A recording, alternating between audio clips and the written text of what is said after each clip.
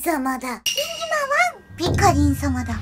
本日はですね犬餌ドッグフード食べ比べ第2弾をですねやっていきたいと思いまかい前回はいろんな犬のおやつとかだったんですけども今回はピザマの魔界犬破壊神ビルス様がなんとアレルギーが発覚したという悲しいね。秘宝がありまして徹底的にドッグフードをドライフードの方をたくさん買ってみましたので今回は全てドライフードのドッグフード食べ比べの動画になっております。なのでこうワンちゃん飼ってる人とかも自分のワンワンのアレルギーが発覚した方とかもぜひ参考にしていただければなと思いまかいまあちょっと高い不合ドッグフードとかも今回は揃えておりまかい試しに試食先にしてみたものとかもあるんですけど本当に比べ物にならないくらいやはり美味しいですね。やっぱおやつって人が食べても普通に美味しいかなって思うんですけどまあドッグフードドライフードに関してはやっぱり人が食べると犬の餌だなみたいな感じてしまうこともねあると思うんですけどもワンランク上のフードたちはやはり違うのでピ様の食レポとともに参考にしていただけたらなと思いまかいでちなみにビルシュのアレルギーが発覚したのはですねラム肉と牛肉のアレルギーが発覚しました、まあ、今回結構ちょっと深刻めなドッグフードドライフード食べ比べの動画になるんですけどこちら今までねシュプレモさん待てい!これは 4kg のシュプレモさんを今までは愛用していたんですがそれではドッグフード食べ比べスタート!人が食べても美味しいドライフードを探せ!ビルのお気に入りも探すぞ!まずですね市販で売ってるやつから食べ比べていきたいと思います。ドッグフード。食べ比べかっこドライフード編。スタート。こちらですね。ファーストチョイス。これはアレルギーが発覚してから急いでホームセンターに買いに行ったやつ。もろこしヘッドとかが入ってますね。こちら。粒がこんな感じになってます。香りはホームセンターとかで手に入れられるドライフードにしては良き香りかなっていう感じですねとても香ばしいでも触るとやっぱり手に油がつきますね。まあ、それが普通のドライフード味を感じられるいい部分かなとも思うのですが、では、いただきます。うん。シュプレモに似てる気がする。魚の成分が入ってるんですけど、その味が結構強い。チキンの後に魚が来るっていう、まあ、ドッグフードのありきたりな感じですね。後味に残るのが魚成分がとても強いので、アーモンドフィッシュとか給食で食べたじゃないですか。アーモンドフィッシュを一気に10袋分ぐらい魚だけ食べた後味みたいな感覚に陥ります。噛み応え感的にはサクですね。サクサク。これがファーストチョイスです。普通に美味しいし、良きと思う。忘れてましたが、シュプレモも食べやそう。シュプレモの粒の形は小型犬が食べやすい。こういうウサギのうんこ超ちっちゃい版みたいな感じになってます。いただきなかい？うん。シュプレモの方が後味がかなりさっぱりしていて、サーモンとか使ってるんですけど、うん。やっぱり一番最後にサーモン感がでも残るかも。あとやはり小型犬が噛みやすいように作られているから、一噛みした途端に粉々になるんだけど、それが心地よきというか、噛まなくても勝手に砕けてくれる感じがありますね。一気に砂になるって感じです。ガーラです。味もいっぱい食べたくなっちゃう感じですね。逆にだから濃くもないし、薄くもないから、もう一回もう一回ってなっちゃうのかもね。一口で満足させない。これもすごい好きだったんだけどな。やっぱイラストの通りね、美味しいし、油のギトッと感も少ないですね。このイラストは伊達じゃないですね。本当に自然界の美味しい食材たちを使って作られたブーツなんだろうなっていう感じです。続いて、こちら、プレシャスですね。これもアレルギーが発覚して慌ててホームセンターに買いに行ったものなんですけど、これアダルトですね。けしからん方のアダルトじゃないですよ。ピ様はね、こちらの餌結構初めてというか、餌の中に茶色い物体しか入ってない餌しか今まで見たことなくて、こちらはですね、餌の中にカラフルな物体が入っております。野菜とかが一気に取れるみたい。グロロリーとか人参とかが入ってるわけですね。野菜嫌いな子もこれで食べてくれると嬉しいなという願いも込められているのでしょうか。香りもね、これとてもいい。ポテチのコンソメの匂いがする。で、粒もいろんな粒があります。なんか、茶色い大きいのだったり、茶色い丸いのだったりと、非常に遊び心がある。可愛いきですね。クッキーみたいな形で、いろんなものが混入してます。いただきまかい。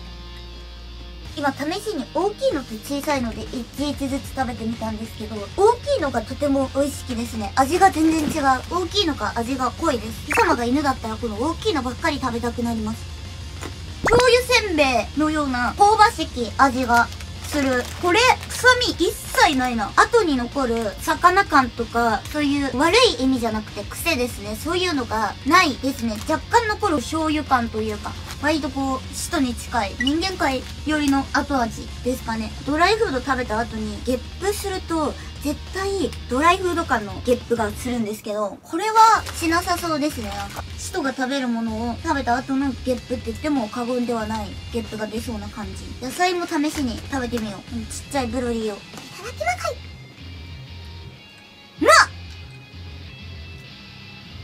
全然想像と違ったブロリーは、ふにゃふにゃです。びっくりした。だいたいドライフードってカリッカリじゃないですか。もぎゅもぎゅですね。グミみたい。味は甘い。人参ももぎもぎだ。この謎の四角い卵のような物体。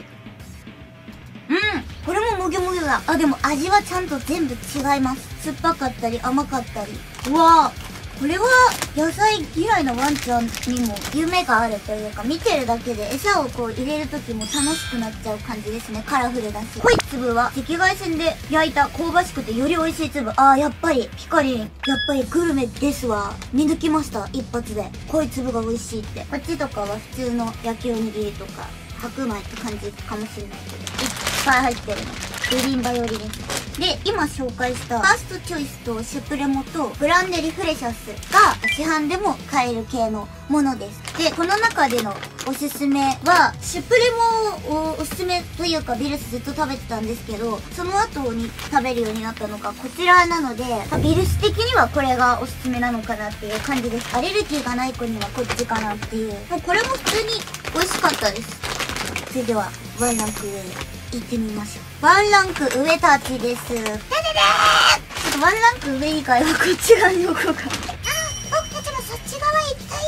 いや、君たちには君たちなりのいいところがあるから。それではですね、こちらが富豪ドライフードたちなんですけども、まあ、富豪ドライフードね、気になってる方ってたくさんいると思うんですよ。ワンちゃん飼ってる方々。でも、富豪だからちょっと手出しづらいとかもほんといっぱいあると思うので、ぜひ本当にね、みんなの参考になるように食べていけたらなと思います。まず、こちらですね。愛犬いる方はよくインスタグラムとかで見ると思うんですけど、コッタさんですね。コ名前も可愛いですね。パンナの凝ったご飯というキャッチフレーズでおなじみのビルツはサバ缶とかがすごく好きなので、魚系のドライフードも食してくれるんじゃないかなという志で買ってみました。で、これが粒です。丸くて非常に食べやすそうな形ですね。で、形は手作りだから揃ってない丸って感じですね。ちょっと太めの丸もあれば平たい丸族もいるっていう感じではいただきまかい。うん結構、歯ごたえ強め。歯が強くなりそうです。ワンワンの。これでもかってぐらい、魚の味がします。ギョギョギョです。ギョギョギョ不合フードに来ると、つかないですね、手に一切。油がパッサパサ。まあ、これが良きなんですよ。魚の味的には、結構ドライフードって小魚チックな味が多いんですね。若干苦味があるような。だけど、このポッタに関しては、全全く一切ないです。フレオフィッシュみたいな、マグロ。うちら静岡県産のね、生マグロを使ってるから、マグロな味なんですけど、まあ、刺身のマグロの味がするかって言われたら、しないですね。だけど、高級魚の味がしますね。とても引き詰められてる。すごい。ドライフードでここまで臭みが一切なく、魚の味だけを存分に口内に広がらせることができるのは、コッタさんだけなんじゃないかなって思いまかい。乳酸菌も入っちゃってるし、メリンジョ、ミランジョみたいな名前だな。王様ランキングか。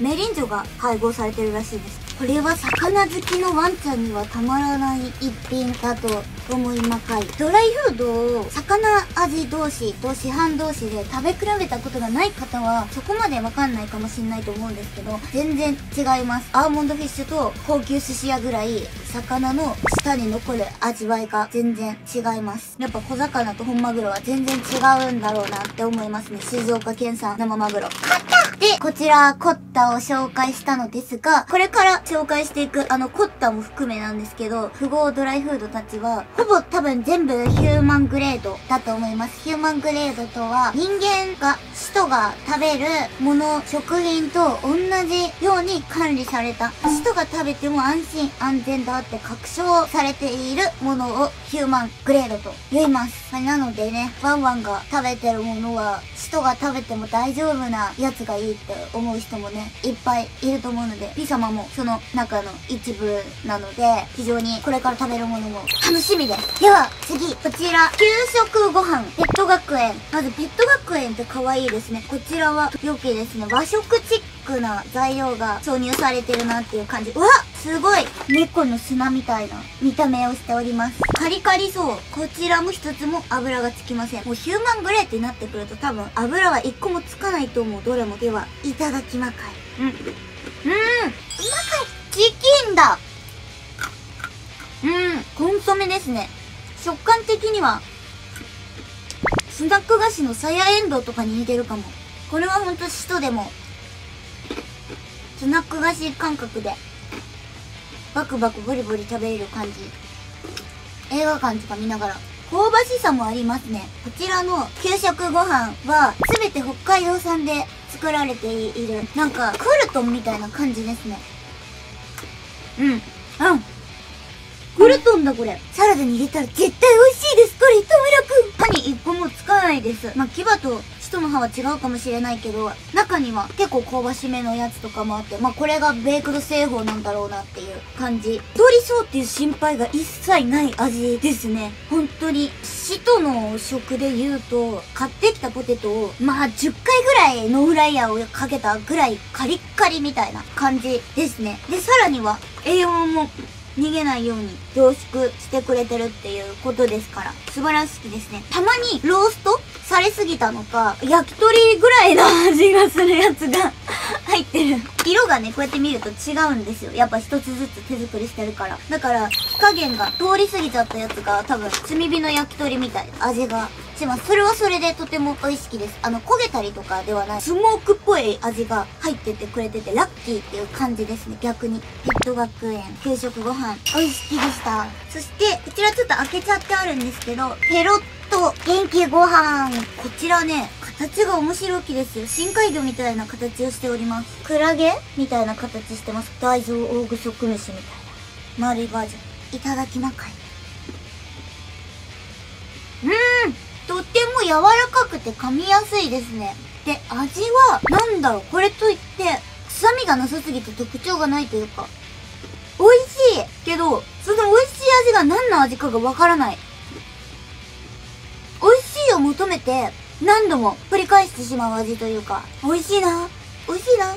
でもこれ、何の食材なんだろう？美味しいな。もう一回食べよう。何の味なんだろうっていう追求とともに食べたくなってしまう味。ペロッと元気ご飯なんですけど、こちらね、鶏肉をメインにしてるドライフードみたいです。確かにいろんなとこから栄養が入ってんのかなって感じですね。ただただ、癖がなく美味しい、食べやすい、柔らかくて噛みやすいっていう感じなので、どのワンちゃんでもいけるんじゃないかなっていう感じですね。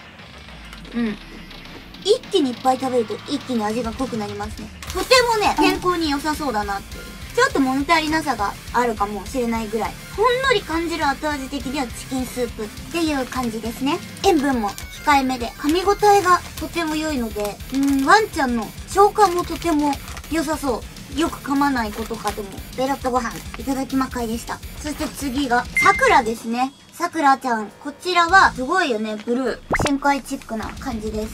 光る折り紙の青みたいな色のドライフード見ないから目立ちますね、見た目も。グレインフリーフィッシュです。で、こちらは、ピカリーの場合はドライフードで注文したんですけど、半生とドライフードがどちらも選べるみたいです。うん。香りはとても魚。良き匂いです。粒は、お黒いぞ。ここに来ていきなり皿が来たが、黒いです。オレオみたいな黒さしてます。大体ドライフードって茶色かベージュっぽい色なんですけど、硬い日のうんこのような色です。な、美味しそう。色がオレオみたいだから、チョコみたいに見えて。いただきます。うん歯ごたえ、ピカリンこれとても好きですね。すっごく魚これは、とっても魚です。健康に良さそう。うんカツオの味する。カツオ節とかじゃなくて、魚のカツオの味です。マグロとカツオって書いてあるんですけど、どっちもがお互い譲らない感じで出てきてて、非常に魚度の強いドライフードですね。カツオの味とマグロの味がもう200対200ぐらいでしてます。あ、後味はカツオが強いかもしれない。ほんのり苦味があるような感じ。不合ドライフードじゃないんですけど、ワイルドっていうのもビルス食べてたんですけど、若干ワイルド味もあるような感じがしますね。ワイルドの方がもっと犬餌感がある味だった。こっちは、本当に魚の味しかしないけど。あと、味の濃さかな濃さがすごい、魚だから濃く感じるのかもしれないけど、濃いなって思います。魚好きにはたまらないと思う。後味的には、魚のおつまみ食べた後みたいなのが口内に広がりますね。まあ、これは好みによるんじゃないかな。魚大好きな子は絶対、このさくらちゃんがおすすめです。で、これはお試しパックもあるのでね、試しやすいと思います。次。じゃじゃーん。全プレミアムドッグ。こちらはね、鹿生肉だって。今までなかったから、新しき。おーおーおーおー。粒が割と大きめですかね。美味しそう。いただきます。はい。うん。あ鹿肉って全然臭みない。ん？飲み込んだ後に遅れて3秒ぐらいしてから味がします、鹿の。ああ鹿ってこんな味なんだ。多分これ鹿の味？なんて説明したらいいんだ？ろう。カリンも鹿、ちょっと初めて食べたんで、鹿丸は。ああわかりました。葉っぱ食べてそうな味がします。まあでも多分鹿って葉っぱ食べてるよね。草っぽい味がね、する。へえ、でも、食べてから飲み込むまで臭みがないって思ったんですよ。したら、飲み込んでから3秒ぐらいしてからふわっと草食べてましたよっていう感じがしてきますね。僕たち草を食べてた生物ですよっていう味がする。うん、香りはコンソメっぽい香りでいい香り。クリスマスツリーみたいな味する。やっぱ草なんだろうね。りんちゃん。どうですか？りんちゃん。鹿さん食べてみようよ。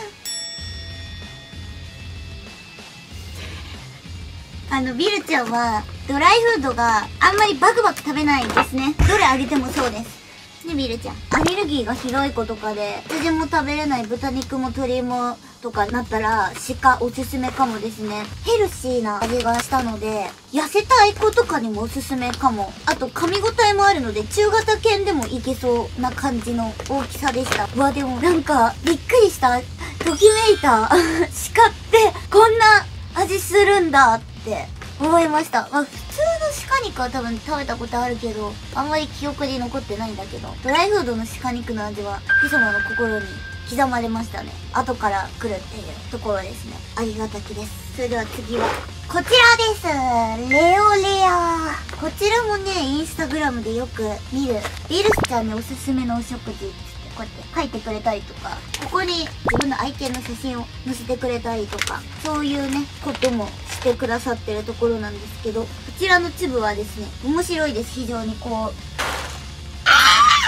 切れてしまったこちらの粒はこう、うんこ、かりんと、うんこなんだよみたいに、それぞれ、みんな違ってみんないいという形をしておりまかい。それでは、こちら、いただきまか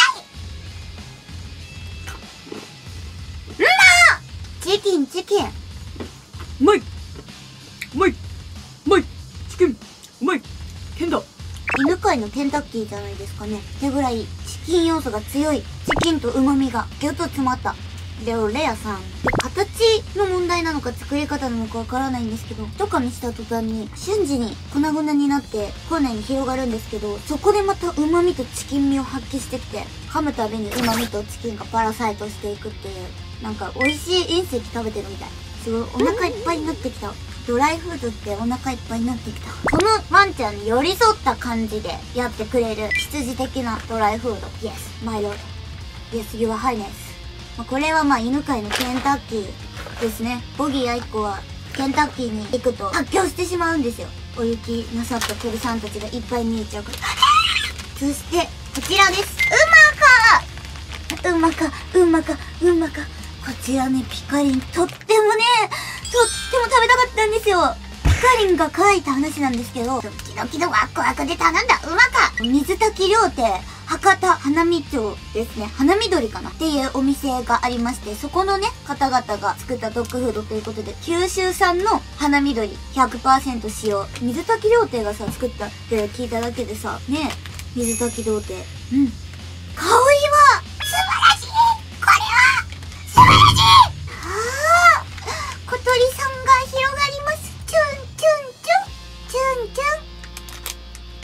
鳥まみれですね。美味しい鶏のスープの香りがする。形が変わっていて、なんだか馬のひずめみたいな感じ？インソールみたいな形してる。いただきまかい。うん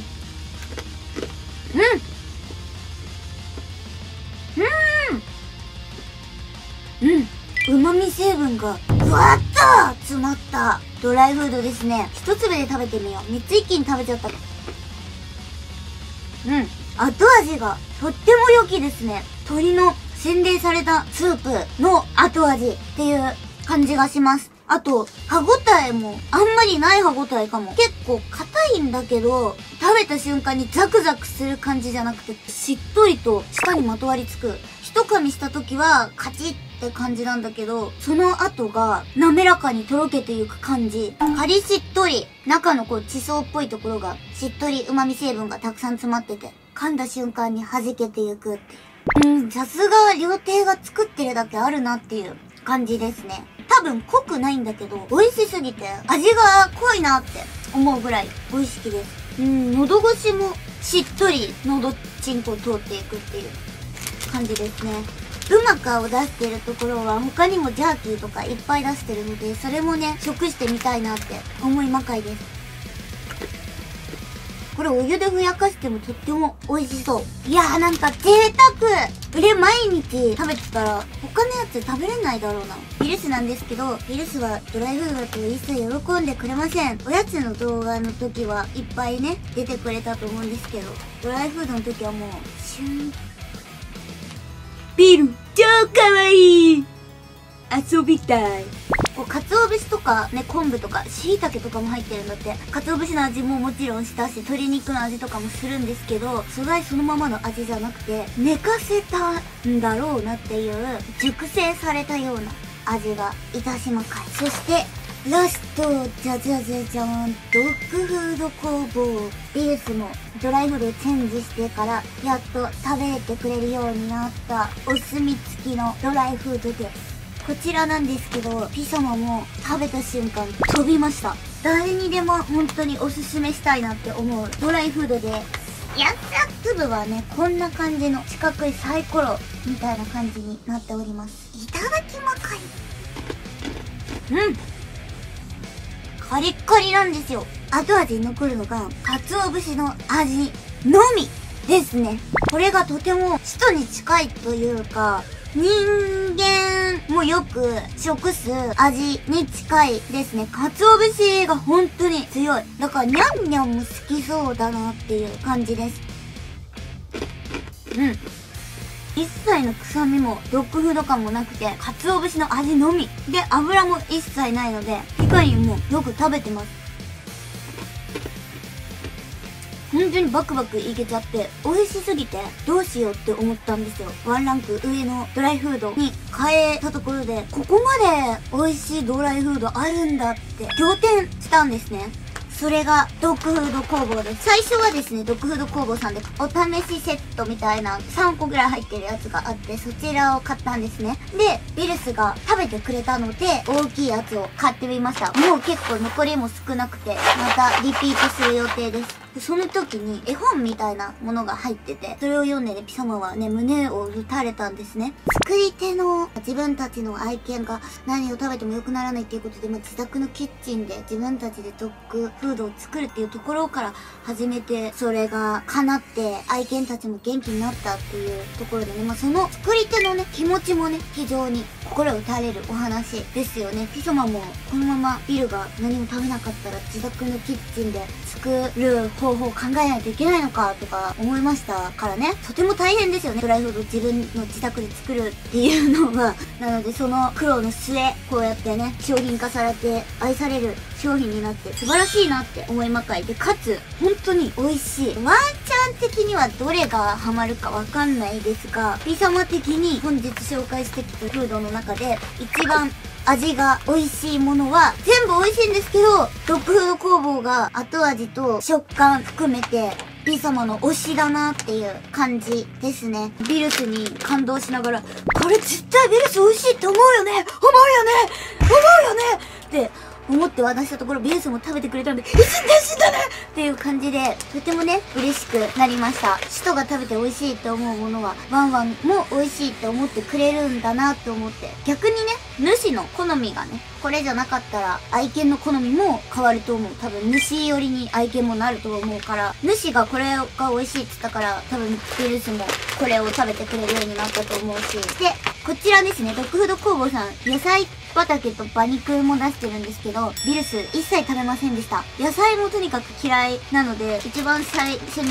紹介したプレシャス、もう野菜だけ残しちゃう感じですね。で、馬肉も食べなかったですね。これだけ食べてくれます。まあ、やっぱりまだシュプレモずっと食べてたんで、シュプレモが名残惜しいというか、感じもあるのかなって思うんですけど、アレルギーになってしまったのでね、シュプレモ離れができるようにね、日々優しく調教していけたらなって思いまかい。ピサマ的にはね、どっちも美味しかったです。今日紹介したやつは全部うまかいなので、ぜひぜひ、ピカリンの食レポを参考にして気になったものがあったら、入手してみてはいかがでしょうか。また、何か疑問があったら、食べて差し上げますので、言ってくだち。